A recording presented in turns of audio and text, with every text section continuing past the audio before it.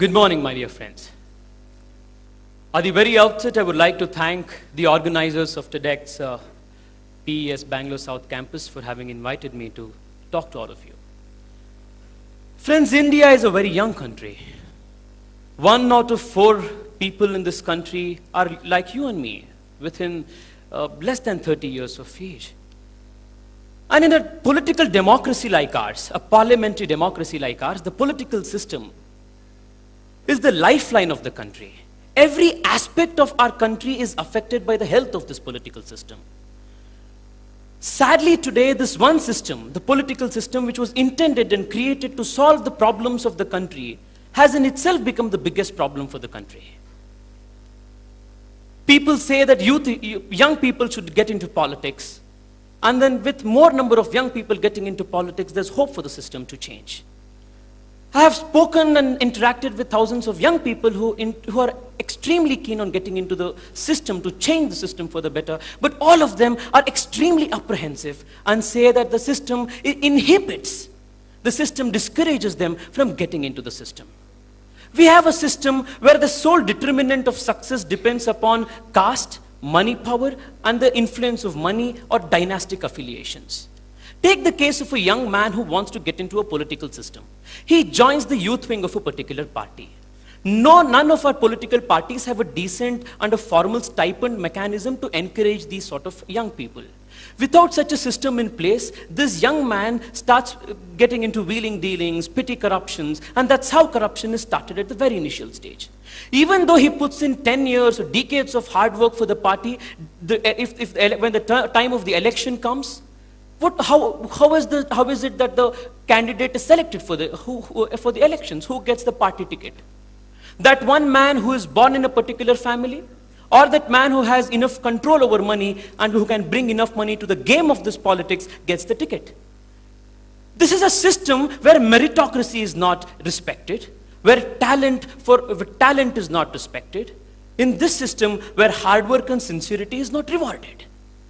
Can we ask our young people in this country, can we encourage them to get into a system like this? This problem of young people not being encouraged, not being welcomed by the political system is just a symptom of a larger malaise that is afflicting the, afflicting the body polity of this country. So what is this larger problem? The first past the post system that we are following in this country, dear friends, is encouraging people to group the population into splinters, into new groups across caste and religious lines. It is not encouraging or incentivizing parties and candidates to appeal to people on a broad-based appeal.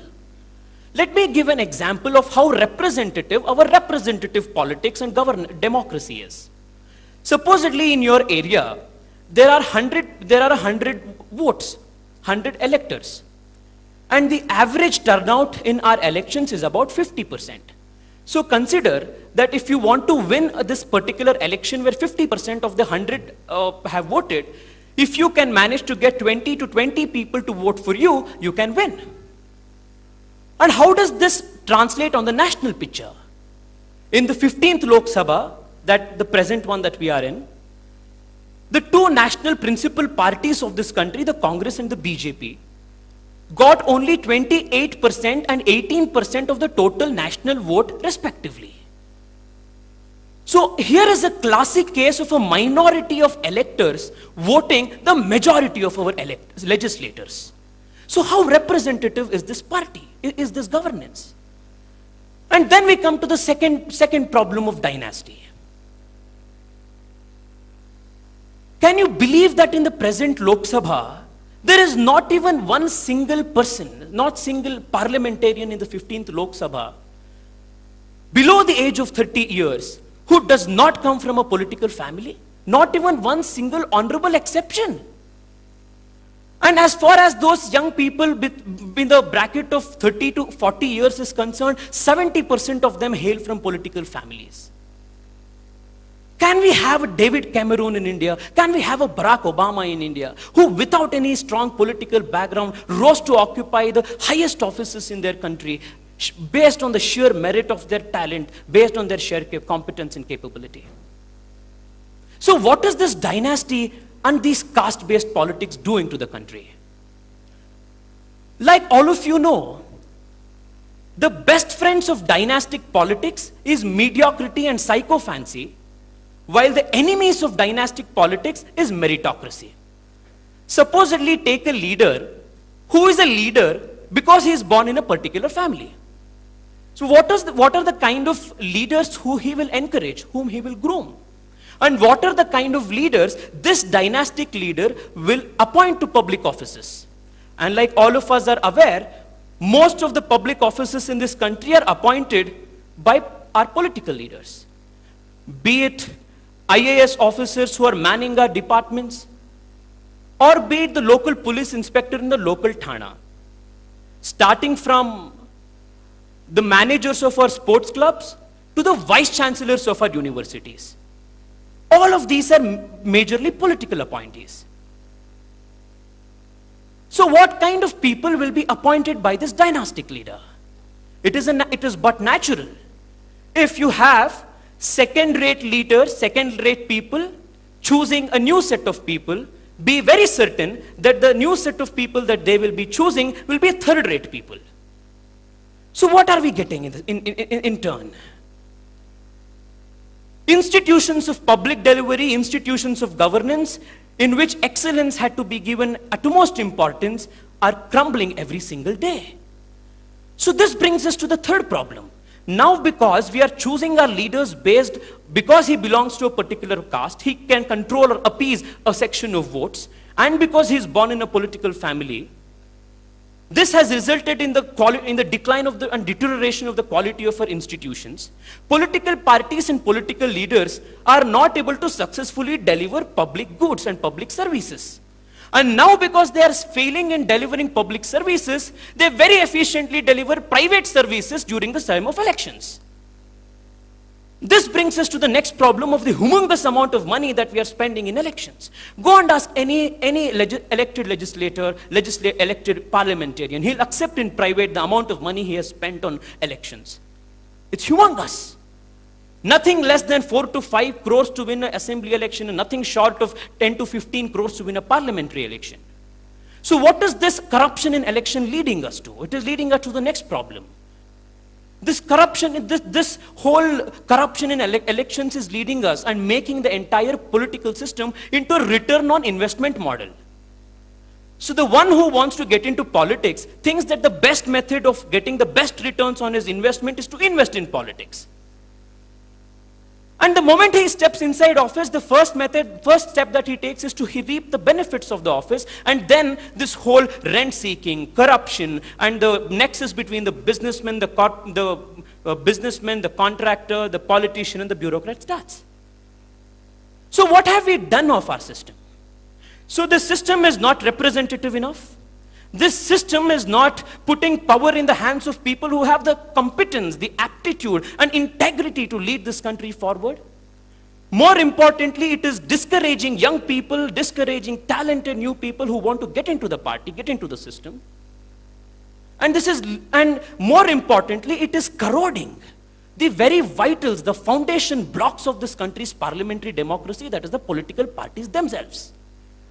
As young people of this country, what hope can we have? What, what changes can we bring to this? Friends, I agree that there are many other pressing issues that this country needs to tackle.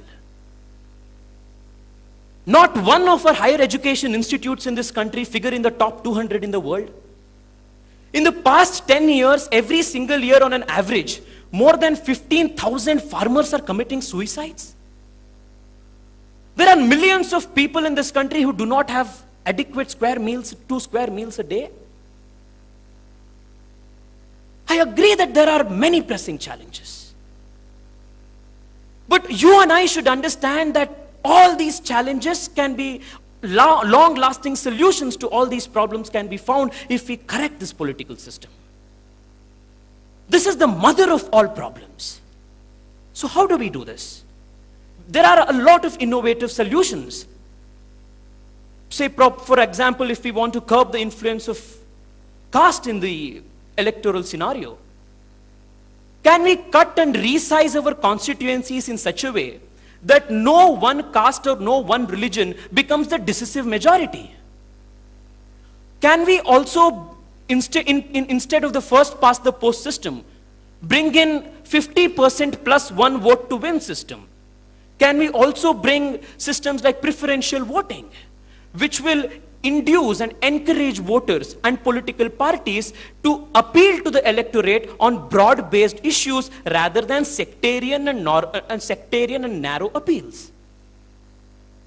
Thankfully, even 65 years after our journey as a republic, not one political party had come forward to stop the menace of criminals in politics. Thankfully, the Supreme Court intervened and we have this uh, Supreme Court order which bans convicted, convicted criminals from entering the parliament. Can we go a step ahead? Can we think of how to prevent people with criminal antecedents to even enter the system? Can we bring in a legislation which bars people who have been charge sheeted of committing heinous, heinous offenses? Six months prior to the parliament, prior to the elections, can we bar such people from contesting elections until the completion of their trials? And then we come to the question of money, and this is a very complex question. Can we think of new solutions? Can we talk to stakeholders who are involved in the political process? Can we think whether state funding of elections will help reduce this problem?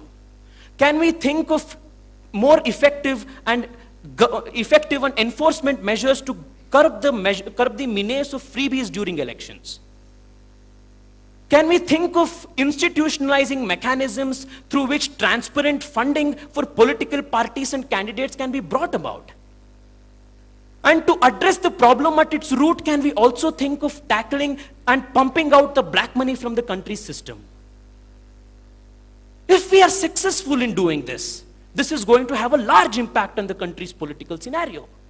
One, it is not only going to make this whole politics of return on investment model politics go away, but more importantly, it will encourage new people who come from modest backgrounds. It is going to encourage you and me, normal people, to get into the political system and try to change the political system for the better. More importantly, Today, most of the political parties function, and if you look at the second generation leaders in most of our political parties, they are all dynasts. And the reason that they are there where they are is because they have they are inheritors of both the monetary and the political, leg political legacy of their fathers and their family. If we can curb the menace of power and menace of money in, in, the, in the political system, then there will definitely be a reasonable amount of internal democracy in the party. Today, none of the political parties can actually think of bringing political internal democracy in any party. Friends, all of this can be done. It's very simple. You need not have a constitutional amendment for many of these suggestions that I told. Simple amendments to a few statutes here and there is, uh, will suffice, it will, will serve the purpose. But the question is who will do it? The question is, will the ones who are presently occupying these positions, the present lot, will they deliver these goods? How can those people who are benefiting from the status quo usher in change? So who will bell the cat? The answer is right before me. In the youth of this country, in the young people of this country. You and I have to take this initiative. We have to go forward. Armchair cynics will say that this is a very difficult uh, proposition. Our plans and dreams are mere wishful thinking. But not all is lost. We need not lose hope. Let me give a small anecdote. Let me uh, narrate before you a small anecdote that, that is very touching and in fact shows why there is hope in the political system of this country. In the last assembly elections in Karnataka, uh, in the um, locality where I stay, the two major contending parties um, organized, uh, you know, free holy trips for the people of the constituency. All paid expenses trips for the people of the constituency. So one political party organized Tirth Yatra to Shirdi and the other party organized a Tirth Yatra to Tirupati. Um, many people, lot of them went to the Tirth Yatra and apparently all those people who went on the Yatra were made to promise before the God that they would be voting for this person and this party who had organized this free trip. Very interestingly, there was this one very old woman who had been to both these trips. I asked her, but she told I hadn't been to Shirdi, neither had I been to um, uh, Tirupati, so they were organizing a free trip. Thought, why shouldn't I go? Then I asked her, they have made you promise before God, how do you manage that conflict of interest? She's a very poor lady, mm, you know, uh, old poor lady, and not this urban cosmopolitan uh, person. The answer she gave me just baffled me. She told me that. At every holy place she went, she offered some money before God and begged him forgiveness and forgiveness because she would be breaking the promise because she intended to vote for a third candidate who in her opinion was better qualified and competent than the other two people who organized these free tirth yatras for her. This is how we need to change the system in this country, my dear friends. By pinning our hopes, by pinning our energies, and by reposing our faith in the common people of this country. For they are seeking a better future for themselves and for this country. Friends, we need to make and build a fair and a more egalitarian political system where any one of us sitting here People coming from modest backgrounds, people coming from backgrounds which do not have a political legacy, you and I can think of becoming the prime ministers of this country in such a way that we can stake, we can stake our claim in such a way that we can stake our claim to occupy the highest offices in the country on the capable on, on based on the sheer fact of our competency integrity and our capability. I would like to leave you all with the ominous words of Dr. B.R. Ambedkar, one of the principal architects of the country's constitution, which he spoke on the Constituent Assembly of this country. He said, however good a constitution may be, it may turn out to be a bad constitution if the people who are called to work it are a bad lot. However good a constitution may be, however bad a constitution may be, if the people who are called to work on it are a good lot, the constitution will be good. You and I have to decide. You and I have to take a pledge. The founding fathers of this country gave all of us a sublime constitution. You and I have to resolve and let us resolve for today and for the posterity and for the future of this country. Let us not leave politics to be the last resort of the scoundrel. Thank you.